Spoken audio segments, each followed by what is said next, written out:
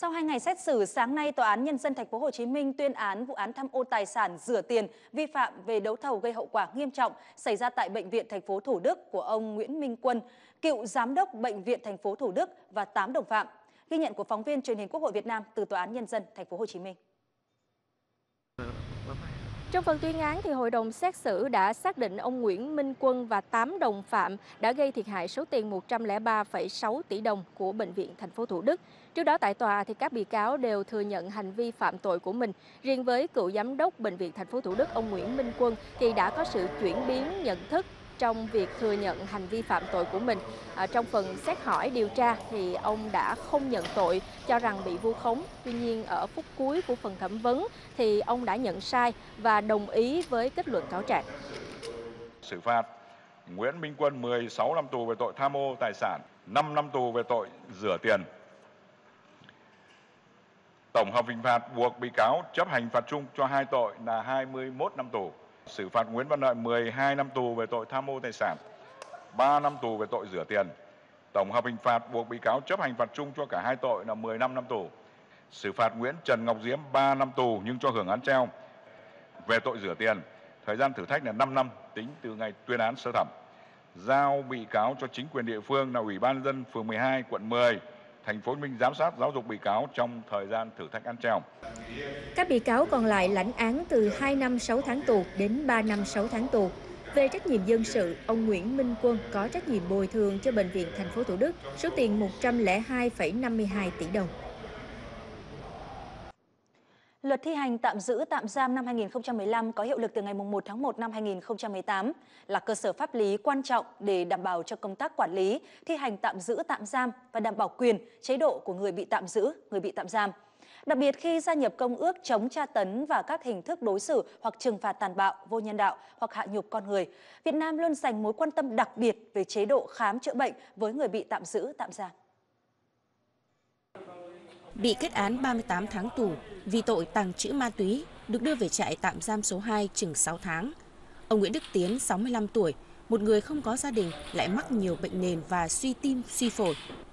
Những tưởng vào đây ông không thể sống được, nhưng suốt quãng thời gian này, ông được bệnh xá chăm sóc tận tình theo đúng quy định của pháp luật.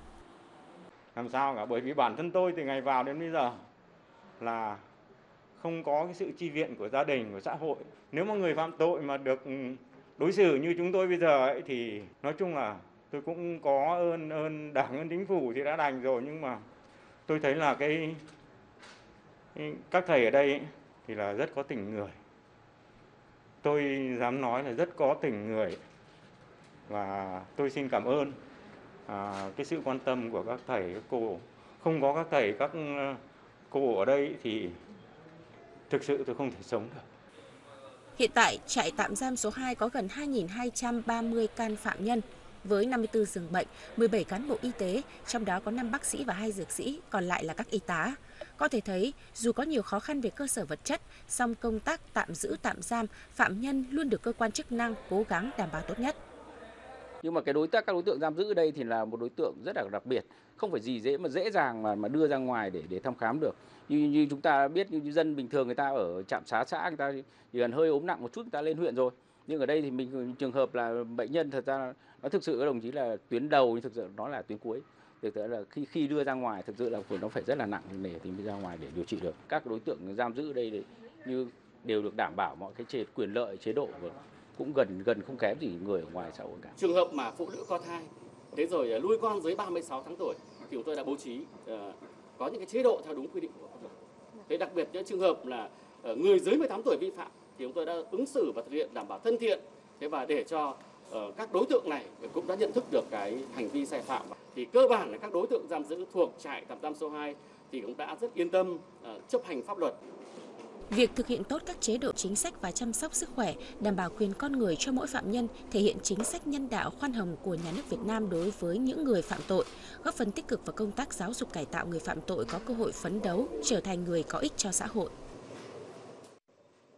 Hôm nay, thông tin từ Cơ quan Cảnh sát điều tra Công an tỉnh Trà Vinh, đơn vị đang tạm giữ hình sự nghi can Lại Thế Việt, 21 tuổi, ngụ xã Tam Hưng, huyện Thủy Nguyên, thành phố Hải Phòng, để điều tra về hành vi dùng súng cướp tiệm vàng tại khóm 3, thị trấn Châu Thành, huyện Châu Thành. Đối tượng còn lại trên đường tàu thoát bị tai nạn giao thông ở khu vực xã Bình Phú, huyện Càng Long và tử vong tại chỗ.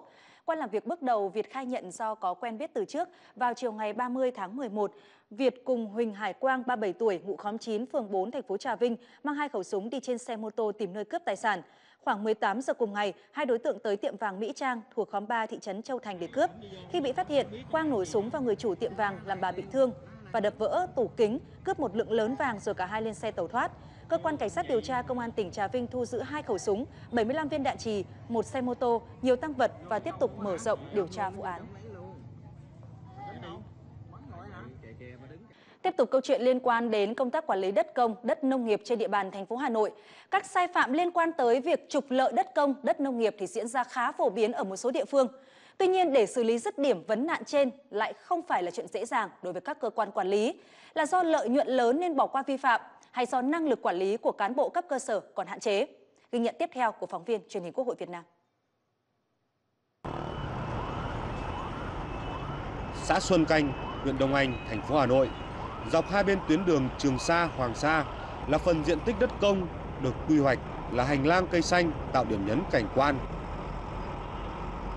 Vậy nhưng, bằng cách nào đó gần 100.000 m2 đất công do Ủy ban dân xã Xuân Canh, huyện Đông Anh quản lý tại một số vị trí đã biến thành những bãi xe, vườn tùng, vườn bách, trở thành điểm kinh doanh đắc địa. Chúng tôi không cho thuê, không cho thuê, không hợp đồng Ấy.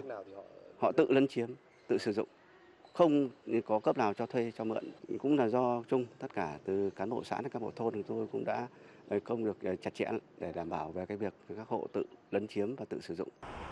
Còn tại khu vực đường Cổ Linh, phường Long Biên, quận Long Biên, hàng chục nghìn mét vuông đất nông nghiệp đã bị các cá nhân tổ chức sử dụng sai mục đích trong nhiều năm qua. Nhiều vị trí trở thành nhà hàng, quán bia, nhà trưng bày cây cảnh, thậm chí có nơi còn đổ bê tông kiên cố lên mặt đất nông nghiệp thế thì cái việc mà cái mà ờ, hoạt động mà bảo là à, buôn bán ấy, thứ thì nó cũng cũng cũng cũng cũng cũng chưa hẳn có thể là cái hoạt động mà hoa trồng hoa cây cảnh để là sản xuất nông nghiệp ở tại các cái vị trí đó. Trái ngược với khẳng định của lãnh đạo phường Long Biên, những người buôn bán hoa cây cảnh ở đây cũng cho biết để có mặt bằng vị trí vàng đắc địa họ phải thuê với giá trung bình từ 6 cho đến 8 triệu đồng trong kiosk có diện tích ngang 8 m, dài 60 m bây giờ muốn ờ, tìm hiểu thuê thì thuê ở đâu chú nhỉ? Như thế Tây Phương. Chú thuê thời điểm nào? Thời điểm lúc bây giờ vẫn mới bắt đầu mới san ờ, nấp cái này, này. Được mấy năm chú? Hôm nay được 2 năm rồi. Thế là hợp đồng mình hợp đồng như nào ạ? Hợp đồng với lại ờ, con bé gì đấy, cái Tây Phương này, này nó đứng ở cà phê thì mình hợp đồng với nó. Rồi. Nó móc nối với chính quyền đặt cưỡng chế ở dưới Cổ Linh như là dưới làng Nha ấy. À thì là nó chính quyền là giờ nó cho nó đứng ra nó thấy ghê gớm thu được tiền của anh em nó cho đứng ra để đăng ký hơn chục à? À một lốt là chưa đến chục hai lốt là hơn chục cũng vì vị trí đất vàng nằm trên đường đôi cổ linh gia đình ông Khải và bà Lưu đã nhiều lần yêu cầu Ủy ban nhân dân phường Long Biên xác định lại 200 m2 phần diện tích đất nông nghiệp đã được cấp nhưng chẳng mấy ai quan tâm. Cán bộ làm được cán bộ mua cái đất của dân thì mở ra bán hoa cho thuê đại lý thì được mà dân của chúng tôi là mặt tiền mặt đường mà lại coi không trả chúng tôi đồng nào mà hễ chúng tôi có ra làm cái gì cũng không cho làm. Đấy như thế là là là là, là không được đúng không? Không công bằng. Chỉ thị 04 của Ủy ban nhân dân thành phố Hà Nội cũng yêu cầu chủ tịch Ủy ban nhân dân phường, xã, thị trấn phải kiên quyết kịp thời xử lý các trường hợp vi phạm. Địa phương nào để xảy ra vi phạm mà không xử lý thì chủ tịch ủy ban nhân dân xã phường thị trấn đó phải chịu trách nhiệm tạm dừng công tác điều hành của chủ tịch ủy ban nhân dân xã phường thị trấn để chỉ đạo xử lý cho đến khi vi phạm được xử lý khắc phục. Dù vậy, trên thực tế, nhiều địa phương vẫn phớt lờ chỉ thị trên. Vâng, trong thời gian tới, các vi phạm về trục lợi trên đất công, đất nông nghiệp sẽ được xử lý như thế nào? Truyền hình Quốc hội Việt Nam sẽ tiếp tục thông tin trong các chương trình sau. Hôm nay, tổ chức Gbay Hàn Quốc đã tiến hành bàn giao phương tiện di chuyển thông minh cho Trung tâm Bảo tồn Di tích Cố đô Huế để thí điểm giao thông xanh trong khu vực Hoàng cung Huế. Theo các chuyên gia Hàn Quốc, cố đô Huế với đặc trưng đô thị xanh và di sản hoàn toàn phù hợp với phát triển giao thông xanh. Thừa Thiên Huế cũng là địa phương có nhiều nỗ lực với quy hoạch hạ tầng dành cho các phương tiện như xe đạp, xe điện, qua đó từng bước nâng cấp lên giao thông thông minh. Thời gian tới, các tập đoàn và chuyên gia Hàn Quốc trong lĩnh vực giao thông xanh cam kết tiếp tục hỗ trợ Huế hoàn thiện hệ thống này một cách hiệu quả và bền vững. Tại buổi lễ, tổ chức Grbay đã trao tượng trưng xe điện phục vụ nhu cầu di chuyển xanh trong Hoàng cung Huế, qua đó nghiên cứu lên 30 xe tại khu vực Đại Nội và các lăng tẩm trong thời gian tới. Sáng nay, hầu hết các trạm y tế trên địa bàn thành phố Hà Nội đã tổ chức chiến dịch đợt 2 cho trẻ em uống vitamin A. Đối tượng đợt này là trẻ từ 6 cho đến 35 tháng tuổi đang có mặt tại địa phương, kể cả trẻ vãng lai hay trẻ đang điều trị tại các cơ sở y tế. Ghi nhận sáng nay, mặc dù trên địa bàn thủ đô có mưa nhưng rất đông các bậc phụ huynh đã đưa con em mình đến các trạm y tế để được uống đủ liều vitamin A theo đúng lịch hẹn. Nó được 2 tuổi thì à, từ à, lúc cháu 6 tháng tuổi thì em đã cho cháu đi uống đều đặn vào ngày mùng 1 tháng 6 và ngày mùng 1 tháng 12. À, mỗi lần uống về thì cháu à, sức khỏe của cháu rất là bình thường. Và vitamin A thì làm cho cháu à, bổ mắt, à, khỏe mạnh. Cháu lần này mới uống lần đầu tiên bởi vì lần trước cháu là đi du lịch không uống được. Tại trạm y tế phường Láng Hạ, cơ số vitamin A được dự trù cho khoảng 1.000 liều phục vụ cho trẻ uống trong 2 ngày tới. Trẻ không được sung được bổ sung đầy đủ vitamin A thì trẻ có khả năng mắc các bệnh về mắt như là quáng gà, khô mắt, viêm loét giác mạc. Trung tâm y tế cũng đã tiến hành tổ chức triển khai uống cho trẻ em uống vitamin A đạt kết quả 99,8 trẻ em trên địa bàn được uống bổ sung vitamin A. Trạm y tế phường Hàng Bông chỉ trong buổi sáng nay cũng đón hơn 30 trẻ em đến uống vitamin A bổ sung. Theo kế hoạch, trạm sẽ tổ chức cho khoảng hơn 200 bé uống trong 4 ngày tới và tiếp tục uống vét 3 ngày sau đó. Nếu mà trẻ mà uống được đầy đủ vitamin A theo đúng quy định ạ, thì trẻ sẽ phát triển à, được cái vấn đề về tăng cường về vấn đề về thể lực, về trí tuệ và trẻ sẽ tăng cường được về cái dinh dưỡng cho trẻ. Trạm chúng tôi cũng vẫn tổ chức cho các cháu uống. Có một cái thời điểm của năm à, 22 là cái năm dịch Covid ạ thì là các cháu thời điểm đấy thì là không tổ chức uống cho các cháu uống vitamin A được. Trong chiến dịch bổ sung vitamin A đợt 2 năm nay của thành phố Hà Nội, dự kiến có hơn 400.000 trẻ được uống vitamin A, với mục tiêu đạt trên 99,8% tại 30 quận huyện.